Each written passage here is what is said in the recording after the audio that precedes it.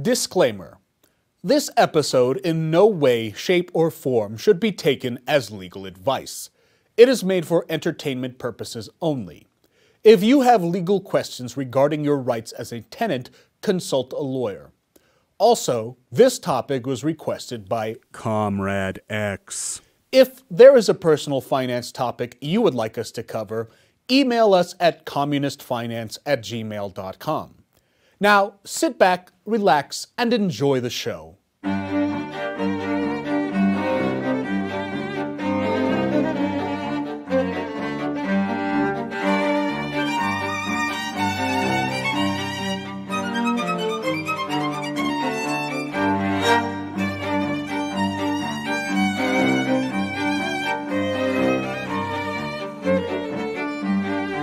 Hello, comrades. Today, I'd like to share a special story with you the story of Bolshevik Bunny's apartment.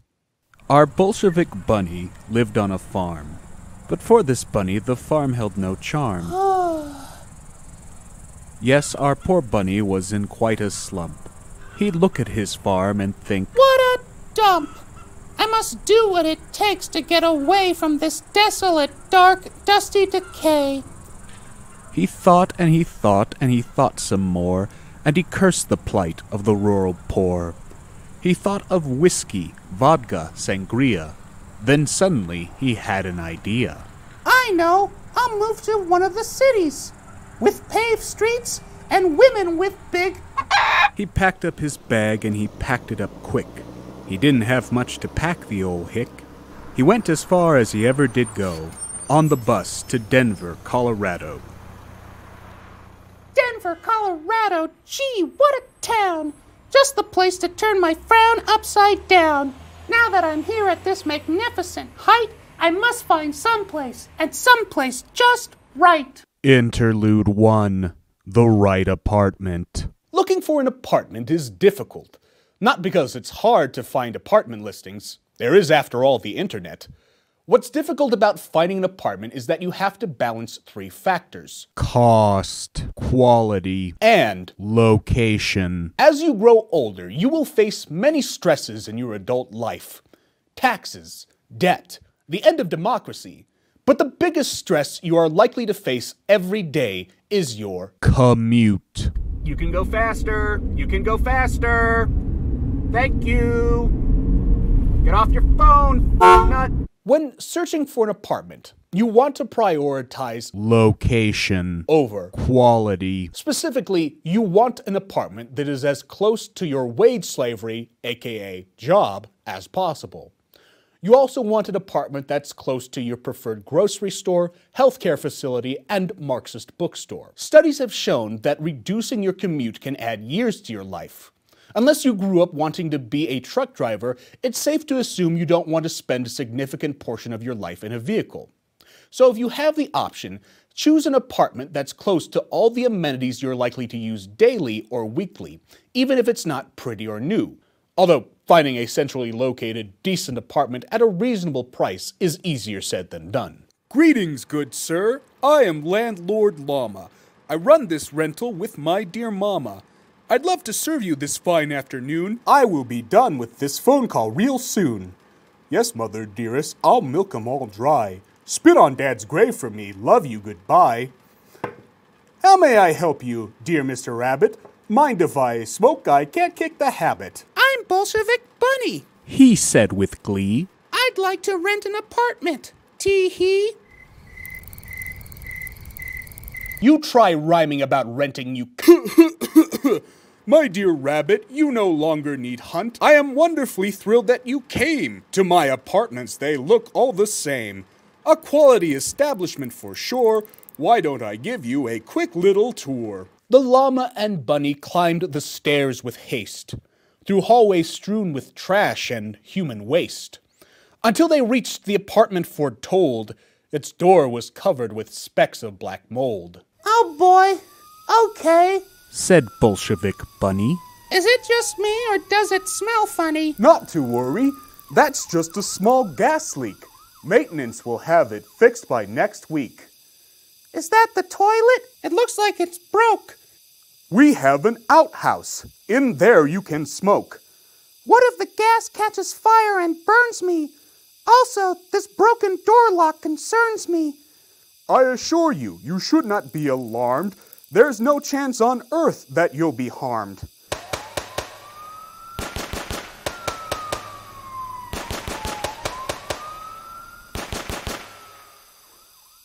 Well, I guess you can't beat the location, said the bunny with some trepidation. I've seen enough and am ready to rent, though I'm worried about that broken vent. Oh, that just broke today due to the frost. It's a quick fix, but let's talk about cost. I bet that it's cheap for how much it sucks. The rent is 1236 bucks per month, screamed the young bunny in terror. Surely there must be some kind of error. Oh, I'm afraid that the rent is quite correct. It's market price, said the llama erect. If you don't like the price, then you can go. Californians think my rent is low. It shouldn't be hard to find for this slob a dirty, dangerous, demeaning job, or two or three to afford life in this slum. I'll be too busy with work to feel glum. So I'll take the apartment, warts and all. Wait just a moment, that's not quite your call. Our application is rather thorough for the privilege to live in this borough. What does applying to live here entail? A credit report, a minor detail. Do you have any prior evictions? History of criminal convictions? There is the slight matter of a small fee. Your income should cover the rent times three. Three times the rent? That's awfully specific. I assure you, it's quite scientific. Actually, it's not. Interlude 2 the cost of housing. Often, personal finance experts will say that ideally you should only spend 30 to 33% of your monthly income on housing. And ideally, when there's a global pandemic, people should be willing to think of others and put on a mask and get a vaccine. Unfortunately, we don't live in an ideal world, so the notion that you'll only spend 30 to 33% of your income on housing too often is pig. The idea that a specific percentage of your monthly income should go to housing dates back to haphazard studies conducted in the late 19th century. Since the 1970s, the U.S. Department of Housing and Urban Development has known that the 30% rule is an unreliable metric for measuring housing affordability. To make matters worse, as we explained in our episode on debt, the price of goods and services, like housing, has steadily increased, while wages have stagnated. For example, in Colorado, the minimum wage is over $12 an hour, much higher than the federal minimum wage of $7.25, which hasn't changed since 2009. Of course, if you wanted to rent a one bedroom apartment in Colorado in 2022, you would need to be making at least $22 an hour. In fact, if we followed the 30% rule for housing, not one single state has a minimum wage high enough to make housing affordable. So clearly the 30% rule is a fallacy, which might not be a big deal, except landlords ask prospective tenants to present proof that their income is three times the rent. So, naturally, poor and working class people who can only work minimum wage jobs are often barred from decent housing. So, what is to be done?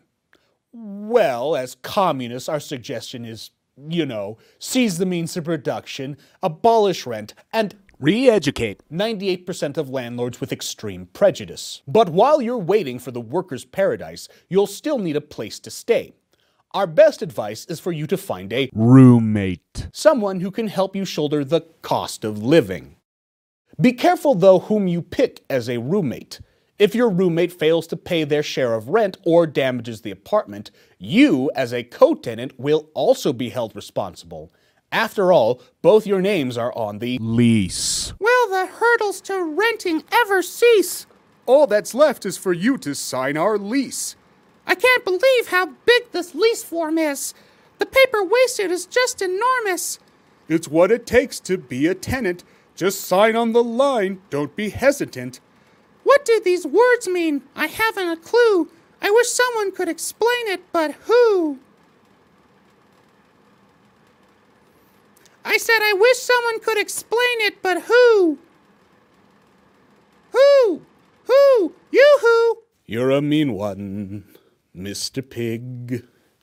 You've got rats in your hat. You've got bloat flies in your anus. You're no David Boreanaz, Mr. Pig. The three words I would use to describe you are greasy black. uh, What?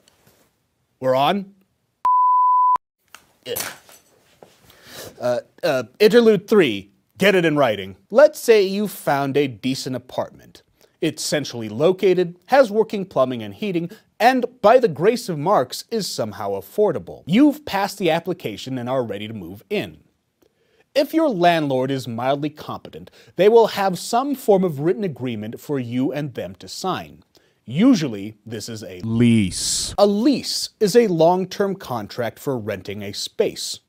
A typical lease details how much rent is going to be, when and where rent is due, and how long the term of your lease will last. Most leases last one year. A lease gives you stability when renting. When you sign a lease, you can expect to stay at that apartment for the agreed upon term, assuming you pay your rent on time and don't cook meth in the bathtub. Also, a landlord cannot raise your rent until the term of your lease is up and you sign a new one. While a lease may give you stability when renting, it is imperative that you read every single word of a lease. Because some landlords are capable of slipping Illegal. clauses into their rental agreements. Clauses such as, By signing this lease, you waive all rights to working plumbing. or, By signing this lease, you agree to breathe asbestos as your kink. Now, to be clear, these clauses are Illegal. under federal law, a landlord is responsible for making sure their property is Habitable. which means their property must have A waterproof roof. Unbroken windows and doors. Working plumbing and gas lines. Running hot water. Working heating fixtures. Working light fixtures. Clean common areas. Proper waste removal. No vermin or pests. Floors, stairways, and railings in good repair. Locks on windows and doors. Also, under federal law, a landlord cannot discriminate against a prospective tenant based on race, color, creed, national origin, religion, sex, handicap slash disability, familial status, or marital status. In theory. because we are talking about the US justice system. And this brings up an important disclaimer that we said at the beginning of this episode, but we're going to say again now. As unqualified as we are to give you personal finance advice, we are even less qualified to give you legal advice. So unqualified, we cannot legally give you legal advice. Legally, we cannot tell you what to do if your water heater bursts and your landlord refuses to fix it. But what we can say is there are many credible legal resources you can use to deal with an uncooperative landlord. Resources like the American Bar Association's website at AmericanBar.org. which can help you find a lawyer who deals in rental law. Another excellent resource is the US Department of Housing and Urban Development's website at HUD.gov. This website can help you find your state's rental laws, which is especially useful if you're having a hard time getting back your Security deposit. And a security deposit is? 1.5 times the rent. Thanks for the quiz. It's meant to cover undue cost to me, like an unpaid month or utility. It also pays for any damages there. but not those caused by normal Wear and tear. I must pay this if I want to move here? As well as the first month's rent, let's be clear. Well, nothing ventured, nothing gained. Said the bunny with his voice sounding pained. He signed and paid deposit and rent, and to his apartment our bunny went. Eleven and a half months later. I waited all night. Where the f- were you? I was out with the guys Bill, Randy, Stu. Bullshit. You out with one of your little whores, right? Oh, why don't you quit breaking my balls? Night. Don't you walk away from me, you piece of shit. You keep this up and I'm gonna hit. Then you'll be just like your piece of dad. Watch your fat mouth now, you're making me mad. A fat lip, you mean? Then straight to the moon. you. you. No, f- you. No. you. Five minutes later. I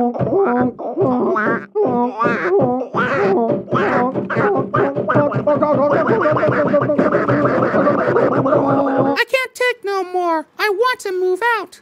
Everyone moves, now there's no need to pout. Please, can't we at least stop talking in rhyme? We've gone far too far to stop at this time. Oh, fine, just let me leave this apartment. Well, we'll miss you at our little tenement.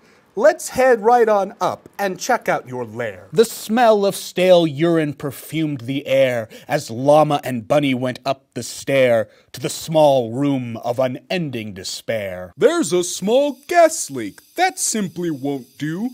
For that, I'll charge 43.52. Significant damage to the air vents. 127 and 63 cents. But last year you said you'd fix that by spring. Oh, I assure you, I said no such thing. I cannot recollect speaking those words. Plus an extra fee for cleaning the. It appears that the toilet is broken. What that will cost is best left unspoken. But, but, it was broken when I got here. And you didn't have it fixed for a year? Don't lie to me. These toilets don't come cheap. The cut to your deposit will be steep. And what's this? said the llama with false shock. It seems that this door has a broken lock. Well, now that won't do. That won't do at all. The amount you get back will be quite small. This is ridiculous. This is absurd. I cannot believe the things I've just heard. You've said you'd make this place more inviting. Did you get any of that in writing? If you want to get your security deposit back, you must do three things. 1. Record the apartment's condition when you first move in. Moving can be stressful. After months of searching for a new apartment, packing all your belongings into your car, and getting lost on the way to your new home, all you want to do is move in and be done with it. But not so fast, comrades. Before you try and fit that oversized couch through the front door, you want to do a Thorough. inspection of your new apartment before moving in. Hopefully, you already inspected your apartment and made sure it had all the basic necessities. So, why do you need to do another inspection? Because you want to establish what your apartment's condition was when you first moved in. We at the Communist Manifesto for Personal Finance believe that we have dignity.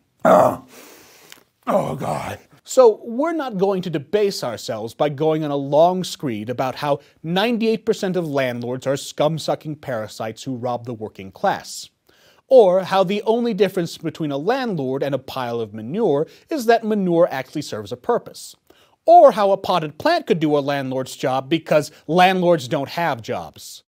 Sorry to disappoint you, comrades, but we won't be saying any of those things. What we will say is that on occasion, landlords have been known to act in bad faith. And if you're unfortunate enough to have a bad faith landlord, they may try to hold you responsible for damages already done to the apartment before you started living there. And then they'll continue not fixing the problem so they can charge the next tenants for the same thing. That's why it's important to inspect and document any defects with your apartment before you start living there. Carpet stains, rust, peeling paint, broken blinds, janky doorknobs. Write down any minor defect with the apartment. And more importantly, take pictures. Once you've documented the issues, inform your property manager slash landlord and ask for repairs. By doing this, you establish a record about what your apartment's condition was before you started living there. So that way, when you move out, you won't be held responsible for the mysterious red carpet stains you saw when you first walked through the door. All you'll have to worry about is cleaning up after your own mess.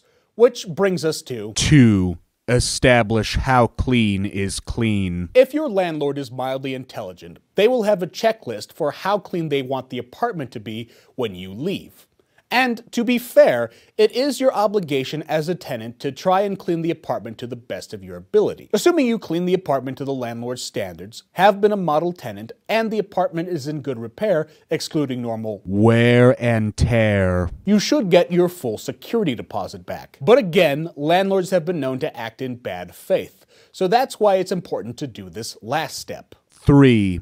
Know the law. Again, HUD.gov. is an excellent resource for finding out what your state's rental laws are.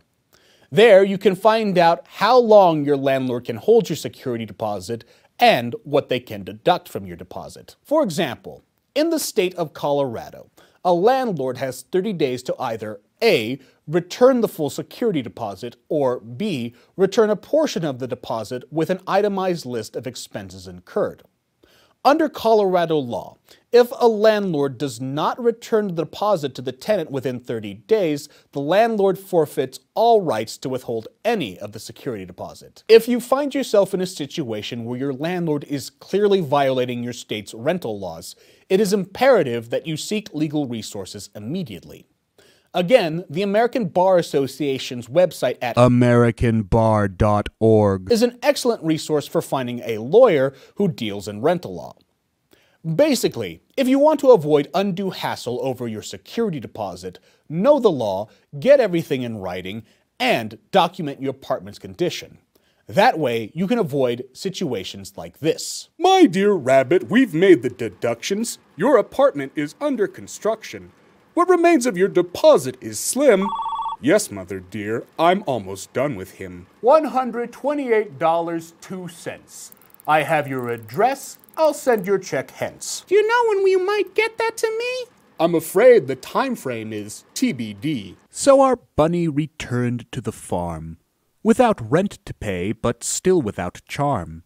He sat by the mailbox and well faucet, his meager security deposit, all he had left. His check was a late thing, and he still is waiting, still is waiting. We hope you've learned of some renting dangers, and not to trust landlords who are strangers.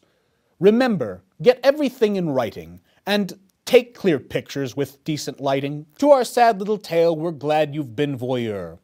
And when in doubt, call a lawyer. Now, dear comrades, we've reached a conclusion. As always, you are the revolution.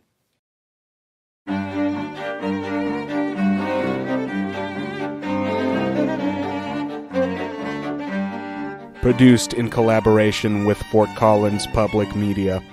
If you have comments, questions, or suggestions for future episodes, please email us at communistfinance at gmail.com or follow us on Instagram at Comrade Rourke.